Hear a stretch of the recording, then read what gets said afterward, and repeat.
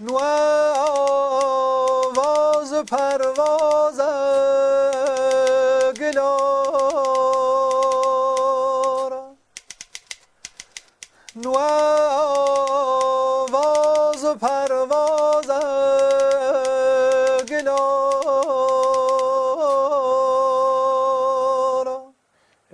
موسیقی زاگرس خب پیشینه چند هزار ساله داره. و اون چیزی که امروز دست ما رسیده و ما به عنوان مقامات می‌شناسیم یک تعدادی نغمه ها هستن یک فرهنگی هست تحت عنوان بالاخره فرهنگ مقامی.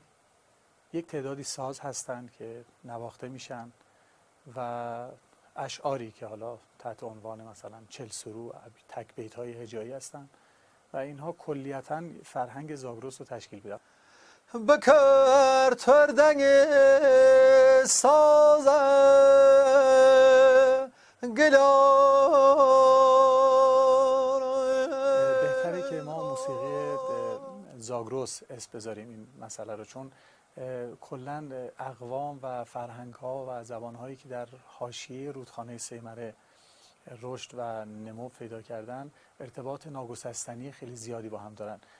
فصل تمایزی خیلی نمیشه براشون مشخص کرد. اینی که مثلا ما بگیم زبان لکی یا زبان لوری یا زبان کردی خیلی نمیشه اینها رو از هم توی شاخهایی مخصوصا بحث موسیقی از هم جدا کرد. بفرما خوشتی پات سر چم در آخل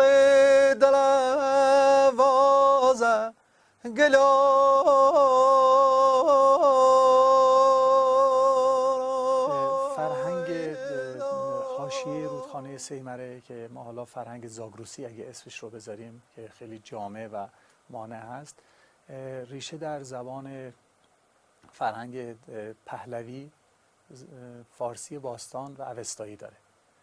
خب قرنها گذشته و امروز به عنوان یک میراث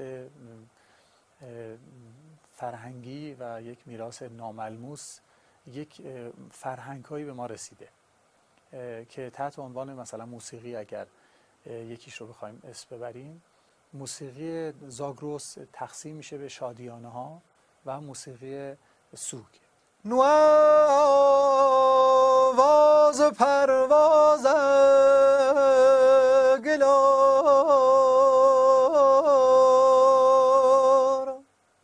آوازهای حزنانگیز رو ما در مور اجرا می‌کنیم. مور رو گاه برای مردگان گاه برای بیان حالتهای شخصی غمانگیز و حزنانگیز خودشون مردمان زاگرس میان اجرا می‌کنن. تنوع خیلی زیادی در اجرا داره این نوع موسیقی. متاسفانه سنتگرایان خیلی مقابله می‌کنن با اینکه یک تز جدید در موسیقی زاگروس اجرا بشه. خیلی ها یعنی بیشترین نگاه به سمت سنت و سنت گرایی اجازه نمیده که ما نگاه نو و به اصطلاح مدرن داشته باشیم. در حالی که مدرنیته همزمان که سنت ها رو به اصطلاح پشت سر می‌گذاره تز جدید رو هم مطرح می‌کنه.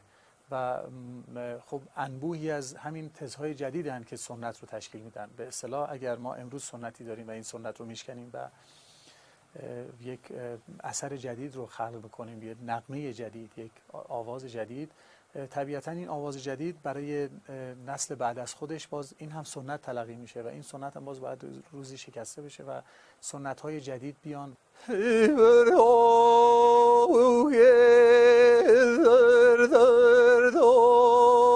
خیلی خیلی خیلی باستانیه این آواز.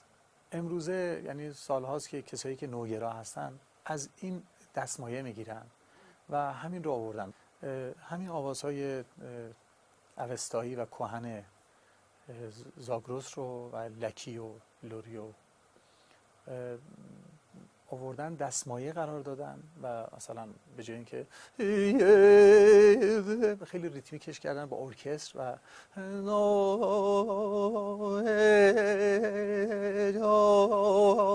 و ارکستری نواخته میشه اشعار جدید و ریتمایی رو آوردن این کار رو ریتمیک کردن و در فضاهای دیگه تجربهش کردن. بخشی دیگه هم میان همین ها رو دستمایه قرار میدن و کار جدید ایجاد می‌کنن. به عنوان مثال مثلا ما یک مقامی داریم تحت عنوان مقام مثلا یاری که موسیقی تنبوره در شمال لرستان.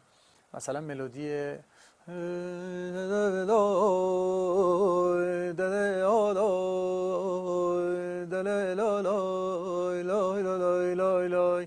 این رو یک فاصله بالاترش. لای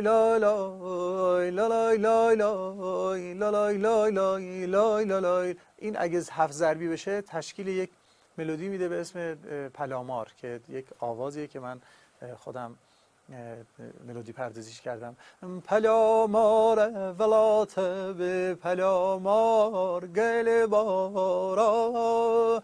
یکش تل کریلم بیر بار گل بارا. پلامار ولات بی پلامار گل بارا. یکش تل کریلم بیر بار گل بارا. پلامار ولات بی پلامار گل بارا. یکش تل کریلم بیار بار گل بارا